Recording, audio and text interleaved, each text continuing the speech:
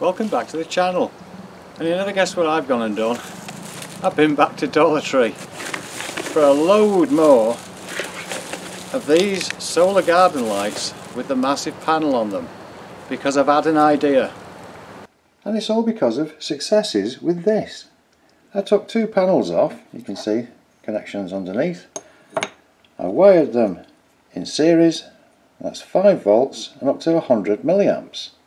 Well I put a USB plug on the end and I put a capacitor across to help smooth things out and this has been really quite successful. I'll show you some footage.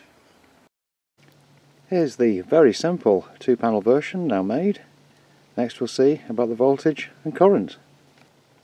There we go, 5.14 volts. That's pretty much exactly spot on. No further circuitry needed.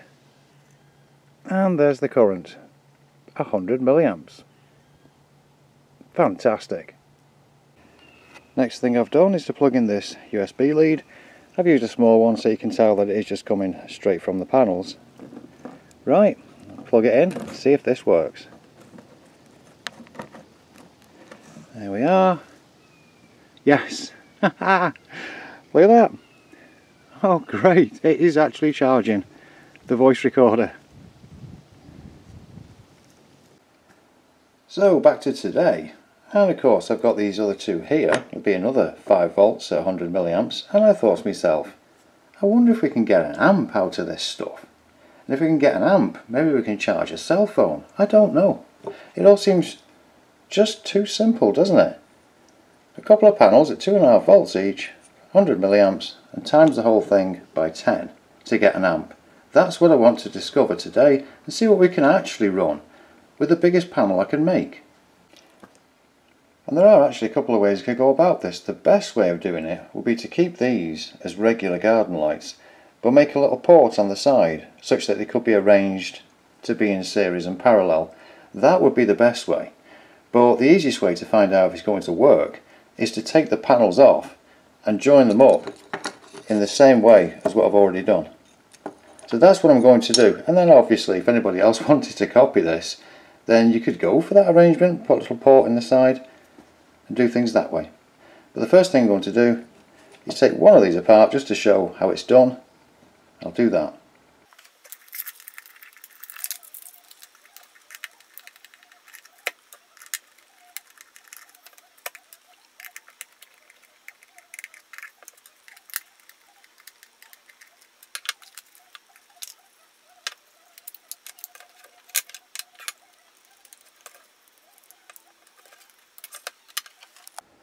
That's the light taken apart. Now, it would also be easier just to leave it like that and just desolder the wires from the circuit. Just take the red and blue off. But, I think what I'm going to do is take each panel out. Because that's the way I originally did this one and it would look about the neatest to do. As I say though, simply like that allows the light to be reconfigured again, to be rebuilt again if you wanted to use it just for normal garden light. So really, in a way, that would make sense. And just have all these lined up in the rows to create a bigger panel. But the other thing is I've got a couple of ideas for different projects and I need the AAA holders, I need the batteries, I need the circuits. So I'll be taking each of these out of the housing. While I'm putting these together I would like to say that if you enjoy this content please do consider subscribing. I'm trying to get to a thousand subscribers and 4,000 watch hours. It's also a great community here. There's lots of very well respected posters who leave some very kind comments. So thank you if you do subscribe.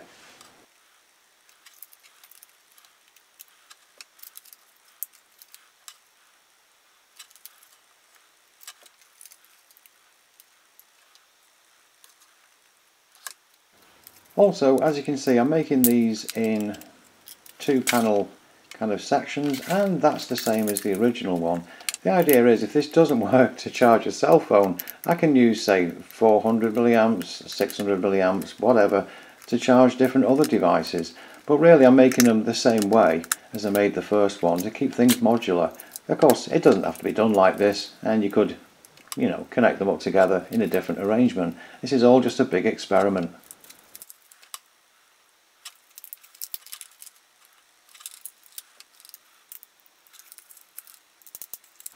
You can see there how I was using the soldering iron to just gently melt the glue that holds the panel. And that's because if I don't do that then there's a risk of the wires snapping off as I remove the panel.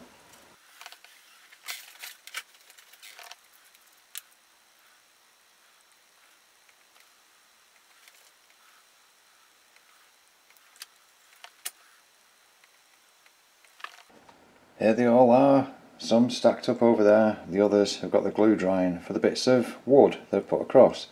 But I've got a problem. If you can count those up, we've got five in the top left, and then we've got six, seven, eight, nine. Yeah, not ten. And that's where the problem is. I've got that one there, but the other one is here. And that video hasn't been released yet, and I'm still recording it. So that's where the other two panels are, which means I think I'm stuck at a total of 900 milliamps tops. But I'm still going to go ahead with this, and perhaps this module idea will mean that I can get another couple of these from Dollar Tree again and get up to an amp or more than that. Uh, it's not the best is it but I'll carry on and we'll see what we can do with these. So the next thing is some kind of backing to put them onto and I'm not really sure what to do on that next either. I haven't got a piece of thin wood, plywood type of stuff. Did have some packing materials here that seem to be about the right size. I glued those together but it's fairly soft and I'm not really that happy with it. I think we're looking at a Goldilocks thing here. This is a door from the kitchen. It's an old door that's not used. That's another option, but of course it dips down there. That's not the best. This here was from a yard sale, and it should have been like a graphics tablet, but I never got the pen with it. So, hmm. But that's a flat piece of plastic. I think I might take the insides out of this and use this surface to put the panels on. So the important thing, do they fit? And the answer is yes. Now another thing is, if I do get a couple more panels in the future, I can actually add another one underneath and it should be flush there so I'll be able to get up to an amp. So that's really good. I think yes I'll use these plastics. I'll take this apart and then fit these.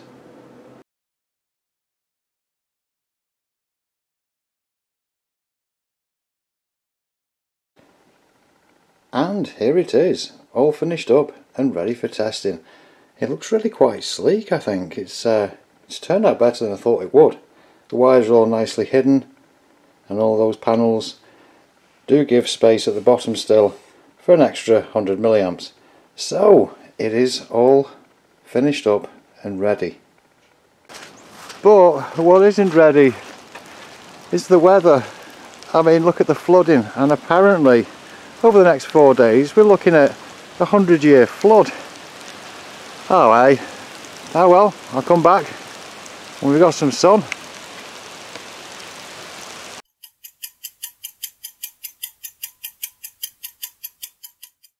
Well this is still awful weather, I've got the car cover on the car because of hail and tornadoes. Um, but uh, yeah, if you have a look at the cloud cover, you know, we're looking at some more rubbish. But the sun does occasionally come out. So I wonder if we can get some readings. So I've got the panel over here. I've got it set to the 20 volt scale. We'll just see what there is for voltage. Uh, we've got a lot of wind coming in now. Okay, voltage 4.97, 5 volts. Sun is actually out now, so there's your 5 volts. I'll be a bit cheeky and put it over to the larger scale just in case. Put it on the 10 amp scale and see what we can get for amperage. And there we are without the sun out 0.38 I'll see if we can uh, wait till the sun does come out. That's pretty good so far though I'll come back if the sun does come out. Here's the test while we wait. This is the audio recorder so is there enough voltage and current to begin charging this? Let's have a look. Plug it in. Anything happening? Yes. Yes it's charging. Would you look at that? There is even in the shade. That is charging. Oh fantastic. Oh wow this is looking good well the sun is trying to come out oh there we are right so wow okay half an amp yes climbing come on, come out a bit more. There we go. Yeah, wow. 800 milliamps, 830, 800, wow, what the heck. 960 milliamps, 970, 980. Good heavens, it's nearly hit the amp. Oh, that's incredible. It's going back up again. Wow, what's that, 930 then? Oh, I can't wait for some decent weather and try this out properly. But there we are, there's, there's proof.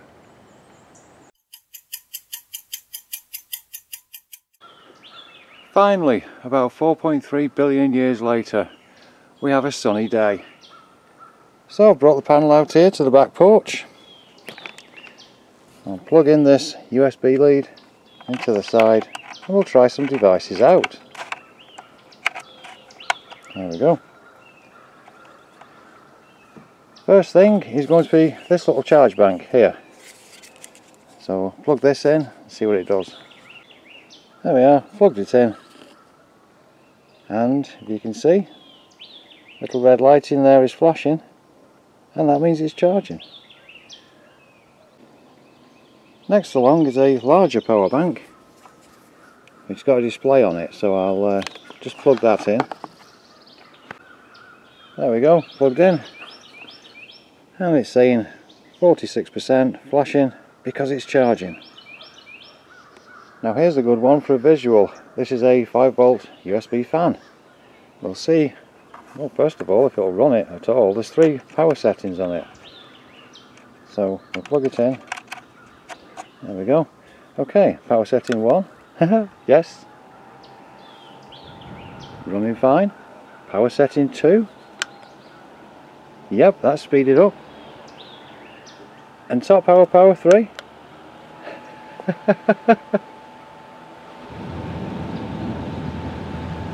oh and you can hear the fan excellent well that's running absolutely fine and now for the big question I've got the panel out on the little walkway here there's the lead let's plug it into this cell phone and see if that can charge that's the big question There we go, plugged in. Do we get anything on the screen? Yes, we do. Yes, we do. There's the charging thing now. Will it show us the percentage? She'll do that in a few seconds time. Yeah, there we go. It's at 30%, if you can see that. Oh, fantastic. Right, so, what I've got here is one of those uh, radio control clocks. You know, they get a signal, radio signal from Colorado. So we're saying 11.35. We'll give it till 12.35 and see how much charge has gone on to the phone from 30%. An hour later and let's have a look.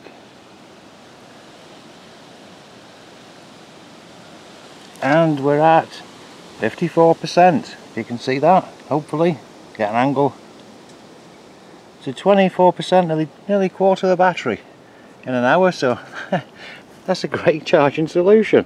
And we've proven that uh, you can take the panels of solar garden lights and make a decent charger that will charge a cell phone. Thanks very much for watching and see you next time.